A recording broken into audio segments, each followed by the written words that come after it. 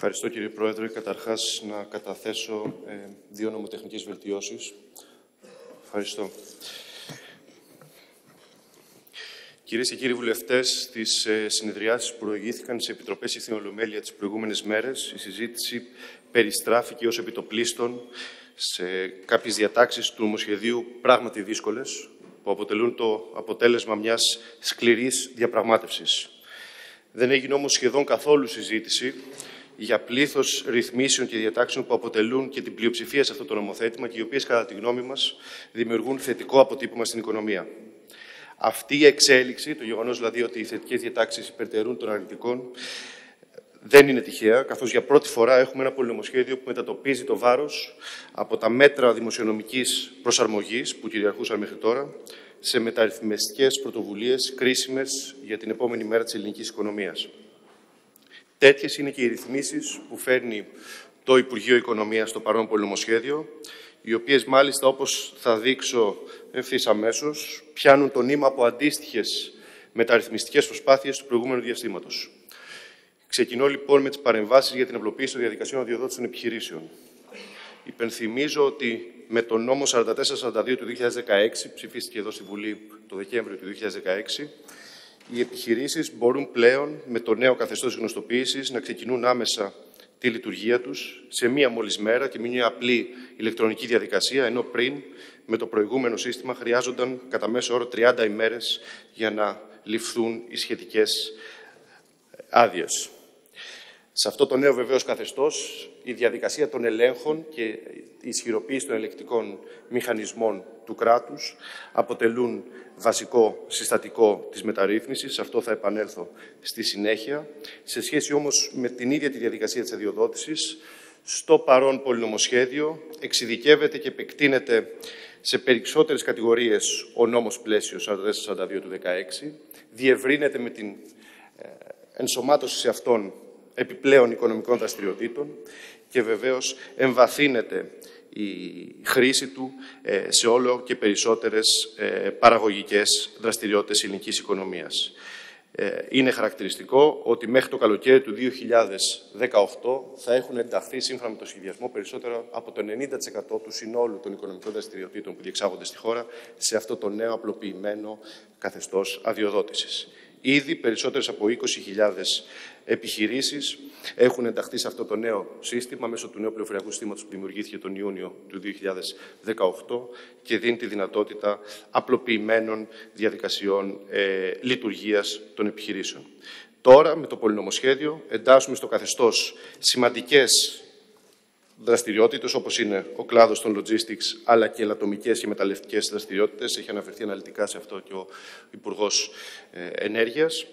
Επιπλέον, φέρνουμε διατάξεις σημαντικές για την απλοποίηση των διαδικασιών αδειοδότηση των εγκαταστάσεων των επιχειρήσεων. Οι άδειες εγκατάστασης πλέον δίδονται με το ε, νέο θεσμικό πλαίσιο για τη μέγιστη ισχύ του βαθμού όχλησης των επιχειρήσεων. Αυτό πρακτικά σημαίνει ότι δεν απαιτούνται ενδιάμεσες εγκρίσεις για κάθε προσθήκη εξοπλισμού ή εξυγχρονισμού ή επέκταση μιας επιχείρησης, κάτι το οποίο αποτελούσε μέχρι σήμερα ανασταλτικό παράγοντα στην διεύρυνση και επέκταση της οικονομικής δραστηριότητας.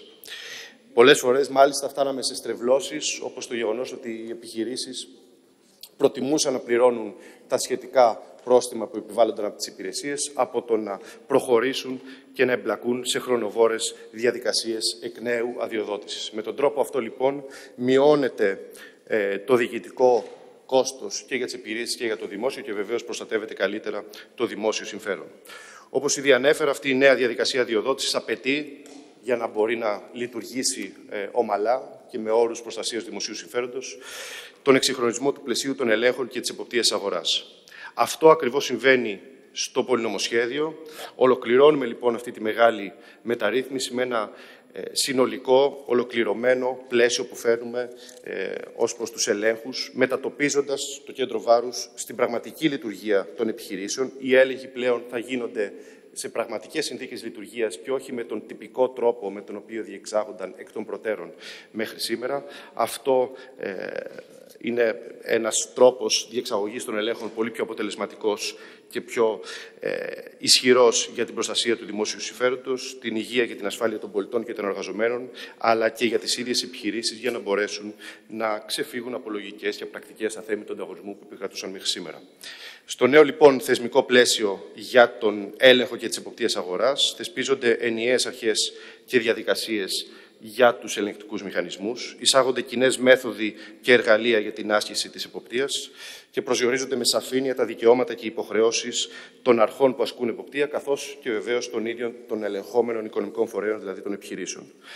Προβλέπονται επίσης μεικτά ε, κλιμάκια ελέγχων από διάφορες, διαφορετικές υπηρεσίες και αρχές ώστε να συγκεντρώνεται και να επιταχύνεται η διαδικασία του ελέγχου. Αντιμετωπίζονται οι αλληλεπικαλύψεις και η αδυναμία συνεργασίας μεταξύ των διαφόρων ελεγκτικών αρχών της δημόσιας διοίκησης, ενώ επίσης προβλέπεται ένα ολοκληρωμένο πληροφοριακό σύστημα μέσα από το οποίο θα υλοποιείται το νέο θεσμικό πλαίσιο και ένα ηλεκτρονικό μητρό ελεγκτών για την ενίσχυση των ελέγχων με επιπλέον δυναμικό και τη διασφάλιση της διαφάνειάς τους. Πέρα από τις επιμέρους ρυθμίσεις, αυτό το οποίο κατά τη γνώμη μας έχει πολύ μεγάλη σημασία είναι ότι για πρώτη φορά στη χώρα διαμορφώνεται ένα απλό, συνεκτικό και σαφές πλαίσιο αδειοδότησης και εποπτείας των επιχειρήσεων. Ένα πλαίσιο που συμβάλλει αποφασιστικά στην οικονομική ανάπτυξη και στη δημιουργία νέων θέσεων εργασίας, διευκολύνει τις επενδύσεις και την ίδρυση νέων επιχειρήσεων, περιορίζει τα διοικητικά βάρη και διασφαλίζει αποτελεσματικά το δημόσιο συμφέρον. Πέρα όμως από τους ελέγχους και την αδειοδότηση, την ολοκλήρωση δηλαδή αυτής της πολύ μεγάλης, πολύ σημαντικής μεταρρύθμισης του θεσμικού πλαισίου που διέπει την οικονομική δραστηριότητα στη χώρα μας. Το πολυνομοσχέδιο περιλαμβάνει και μια σειρά άλλων μέτρων που έρχονται να βελτιώσουν το παραγωγικό περιβάλλον σε μια σειρά από τομείς της οικονομίας. Ξεκινώ, θα τους αναφέρω εντάχει, ε, με τα επιχειρηματικά πάρκα.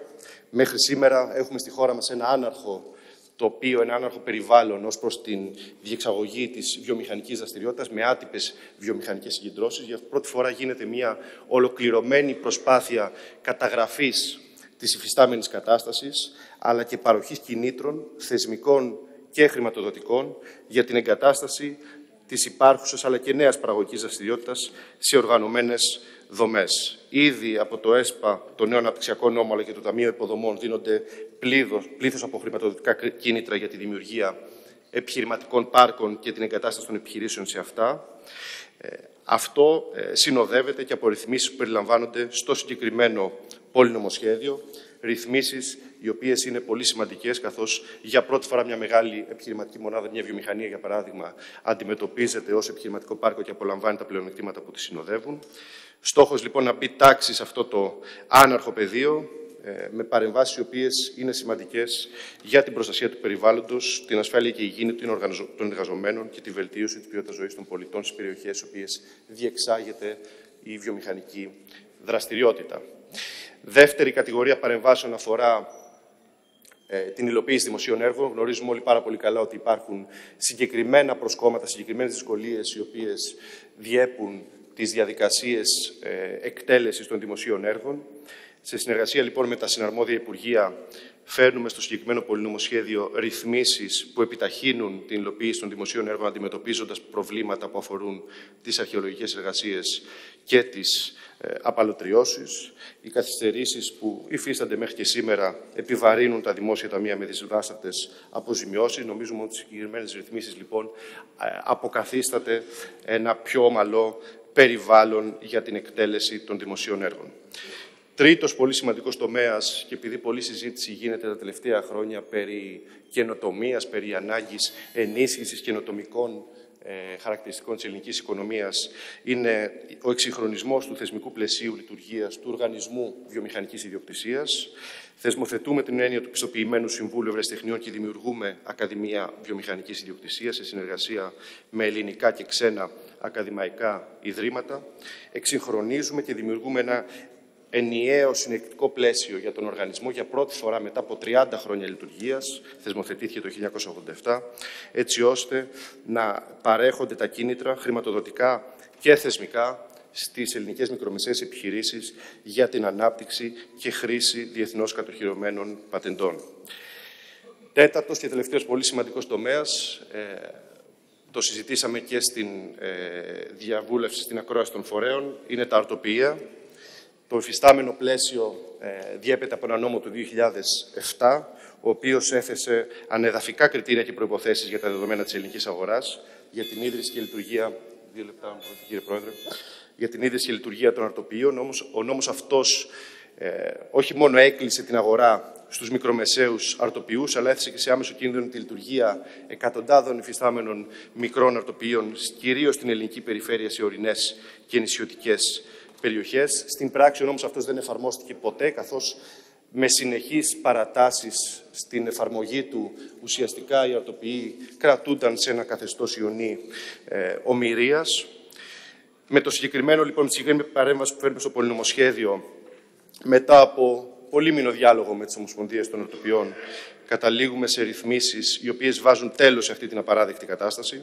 Εισάγουμε κτηριοδομικά κριτήρια που ανταποκρίνονται στην πραγματική εικόνα και τις ανάγκες των ορτοποιών στην Ελλάδα, τα οποία δεν θα επηρεάσουν τα καταστήματα που ήδη λειτουργούν, αλλά θα καταστήσουν πιο εύκολη τη δραστηριοποίηση νέων επιχειρήσεων στον κλάδο.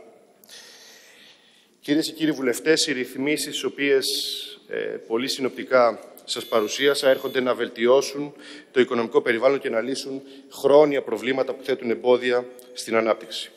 Είναι αποτέλεσμα σκληρής δουλειάς και ειλικρινούς και εξαντλητικού διαλόγου με τους εμπλεκόμενους παραγωγικούς φορείς. Δεν είναι τυχαίο ότι αρκετοί από αυτούς τους φορείς τοποθετήθηκαν πολύ θετικά στις συγκεκριμένες διατάξεις και στην ακρόαση των φορέων πραγματοποιήθηκε στη Βουλή πριν από λίγες μέρες.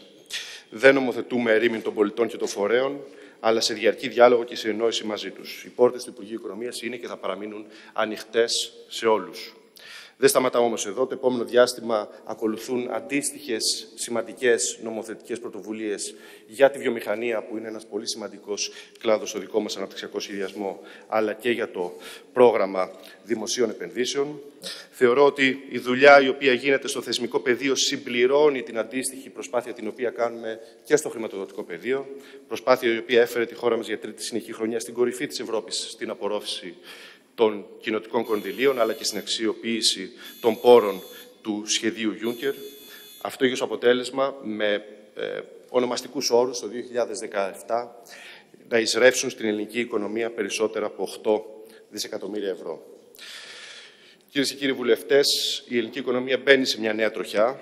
Αυτό δεν αποτελεί εκτίμηση της κυβέρνησης, προκύπτει από τα ίδια τα στοιχεία. Πρέπει να είναι κάποιος πολύ κακόπιστος για να μην βλέπει την αξιοσημείωτη δημοσιονομική πρόοδο, τη βελτίωση του οικονομικού κλίματος όπως αυτή αποτυπώνεται στις έρευνες όπως της Μάρκετ και του Ιωβέ, αλλά και τη μεγέθυνση σημαντικών μακροοικονομικών μεγεθών όπως είναι η βιομηχανική παραγωγή, οι εξαγωγές, η ιδιωτική κατανάλωση και βεβαίως και κυρίως θα έλεγα οι νέες θέσεις εργασίας. Μακριά από εμάς βεβαίως διθεραμικές λογικές και ανούσιοι πανηγυρισμοί, Γνωρίζουμε ότι τα πράγματα παραμένουν πολύ δύσκολα για πολλούς συμπολίτες μας. Μπορούμε όμως να ισχυριστούμε με ασφάλεια ότι τα πολύ δύσκολα είναι, πίσω μας. είναι πίσω μας. Αυτές οι θετικέ εξελίξεις όμως, και αυτό πολιτικά κατά τη γνώμη είναι πολύ σημαντικό, δεν έγιναν με κάποιον αυτόματο ή μαγικό τρόπο. Είναι το αποτέλεσμα συγκεκριμένων πολιτικών επιλογών. Εμείς άλλωστε πιστεύουμε βαθιά ότι η πολιτική είναι αυτή η οποία επικαθορίζει τις εξελίξεις στο οικονομικό πεδίο. Όπως το ξέσπασμα και η ευάθυνση της κρίσης ήταν αποτέλεσμα συγκεκριμένων πολιτικών επιλογών, έτσι και η βελτίωση που παρατηρείται τους τελευταίους μήνες στους οικονομικούς δείκτες δεν προέκυψε τυχαία.